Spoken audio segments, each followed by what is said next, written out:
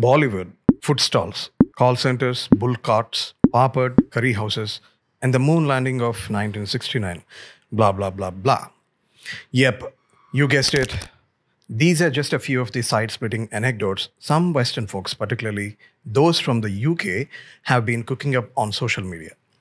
But wait, why is the West turning India's Chandrayaan 3 launch into a comedy cosmic show on the global stage? Now, I won't bore you with every technical detail from the mission's inception to its development stages.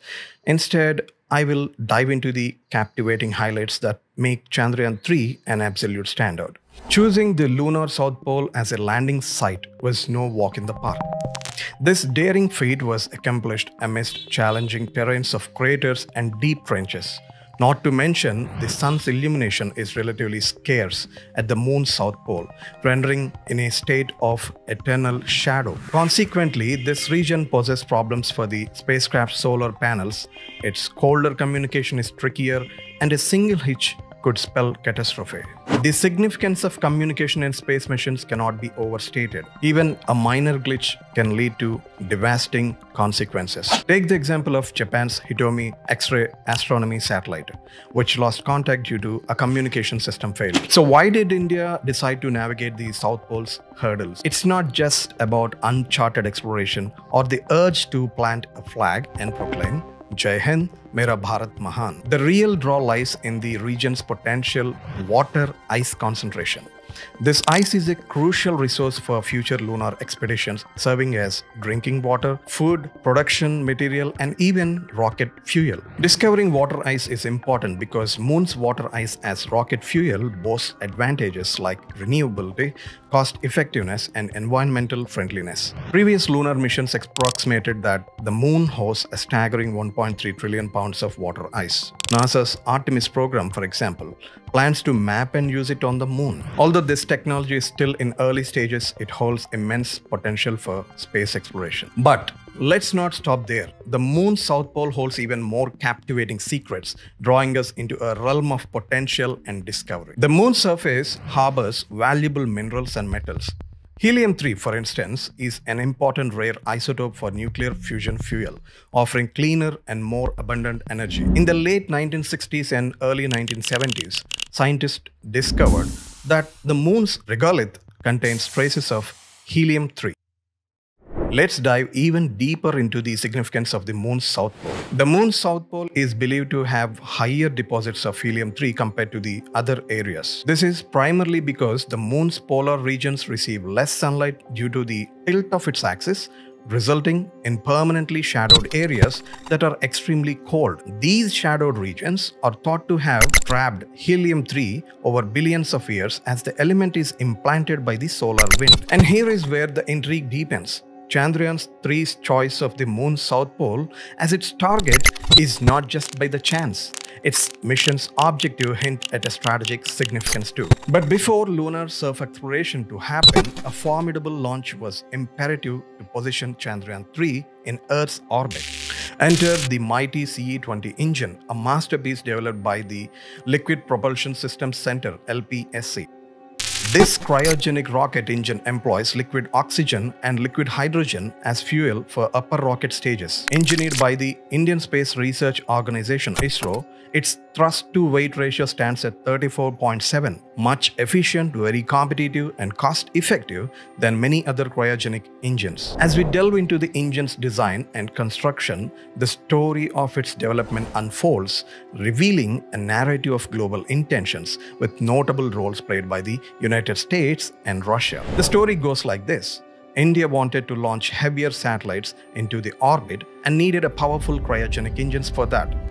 It signed a deal with Russia in 1991 to get two cryogenic engines and the technology to make more. However, the US intervened, labeling it a violation of the Missile Technology Control Regime MTCR. This MTCR was formed in 1987 by the G7 industrialized countries. Why did the US oppose? Well, holding the most advanced weapons and militaries in the world, America thought transfer of technology could help India, us, to make missiles. You see that?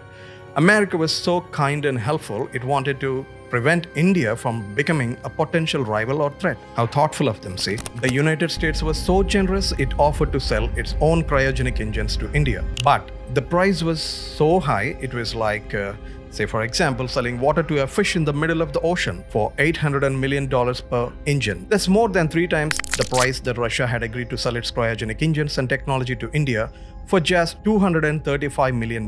India rejected the US offer as unfair and unreasonable and insisted on honoring its contract with Russia. Meanwhile, Russia played a bit of number game here, offering just seven engines and adding a cleverly unexpected twist. They said, no tech tricks, just 7 inches for you, India. It's like we got an amazing gift box wrapped with the colorful ribbons, but when you see, there is no gift inside. With no better option, India embarked on a journey to develop the technology itself. The path wasn't smooth, with years of sweat, setbacks, and probably a few scrambled eggs. Yet, in 2014, India triumphed by launching its first GSLV Mark III with an indigenous cryogenic engine, claiming its space in the elite club. Congratulations, India. This triumphant narrative symbolizes resilience, innovation, and unwavering spirit that defied odds and reached further stars. Let's step out of the flashback episode and return to the unfolding chapters of Chandrayaan 3's saga. Now, let us shift our focus from rocket engines to trajectory. Let's delve into an interesting trajectory topic. Despite being India's heaviest rocket, the launch vehicle Mark III, used for Chandrayaan's 3 launch, lacked the necessary power to send the spacecraft directly towards the moon. To overcome this challenge, scientists turned to the trajectory path utilized by Mangalyaan, India's mission to Mars. Mangalyaan used a Hohmann transfer orbit to reach Mars. This ingenious approach inspired Chandrayaan 3 to embark on a captivating trajectory around Earth, skillfully harnessing our planet's gravitational pull before setting a course for the moon. From the date of the launch on 14th July 2023 to the day it entered moon's orbit on August 5th, Chandrayaan 3 took an interesting trajectory route. What is trajectory by the way? Trajectory is the path that an object follows when it is moving under the influence of some force, such as gravity. For example, a ball you throw follows a curved trajectory due to Earth's gravity. Here's a nugget. Chandrayaan 3 took 40 days to reach the moon. In comparison, NASA's Apollo took 4 days, Chinese Chang'e 5 took 8 days, and Russia's Luna 25 took 5. Why the 40 day journey then? The answer lies in the trajectory chosen. Take a look at these pictures. On the left is Chinese Chang'e's 5 lunar spacecraft taking a direct trajectory path. On to the right of the screen is the animation of Chandrayaan 3 around Earth. The spacecraft was revolving around Earth and changed its orbit again and again around 5 times before it leave to lunar transit orbit. This is called gradual trajectory. Compare the direct trajectory of Chinese Chang'e 5 with Chandrayaan's 3 path orbiting Earth, a gradual trajectory. I think ISRO have mastered the technique of using gradual trajectory. The spacecraft will first enter a parking orbit around Earth, then use the Earth's gravity to slingshot itself towards the moon. Look at the animation again. As the spacecraft moved closer to the Earth, it gained momentum from its gravity. When it moved farther away, less fuel was needed to maintain its course. This iterative process unfolded over six orbits, propelling Chandrayaan 3 far enough and fast enough to break free from Earth's grasp and enter the Moon's orbit before eventually landing on the Moon's surface. But how does a spacecraft absorb the power of Earth's gravity and use it to boost its maneuver? This technique isn't unfamiliar. Think of a shot putter using a sling to harness relative moment and gravity. Similarly, Chandrayaan 3 employed a technique called gravity assist aligning with Earth's gravity to perfect its gradual trajectory. But moon landing isn't as simple as shot put throw. It is a complex technique that requires precise calculations and careful planning. Here, I want to specially mention a powerful tool called LDV, which ensured that the spacecraft was on the correct trajectory and could make adjustments as needed. LDV stands for Laser Doppler Velocimeter and it is an instrument that uses laser beams to measure the velocity and distance of a moving object. I'll soon be delving into the remarkable benefits of LDV, including its contribution to space debris management. Coming back to gravity assist, it's a powerful technique that uses the gravity of a planet or a moon, for example, to change the trajectory of a spacecraft, similar to a free cosmic gas station. It's like a free way to amplify the spacecraft speed. Of course, the technique has been used by NASA, ESA, and other space agencies on missions such as Juno, Rosetta, and our own Mars orbiter mission.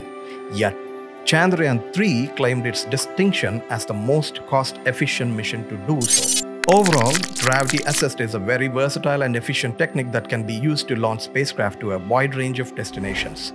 ISRO's use of gravity assist in Chandrayaan's 3 mission is a sign of its growing capabilities and its commitment to exploring the moon. As we conclude this episode, let's acknowledge the exceptional benefits of Chandrayaan's 3 chosen trajectory. Not only did it conserve valuable fuel, but it also aligned perfectly with India's ethos of responsible exploration and innovation. But this is only just the beginning of our journey. As we transition to part 2, the cosmic canvas shifts, revealing new dimensions of Chandrayaan 3's mission. In part 2, we will dive into the fascinating world of responsibility that accompanies space exploration. But that's not all. We will also uncover the benefits reaped from this extraordinary mission. And uh, let's not forget the spine tingling launching terror that every space agency faces. I am Pradeep Pasupuleti, and this is Third Eye signing off. Join us as we embark on Chandrayaan's three remarkable voyage. Stay happy, stay healthy, and stay curious.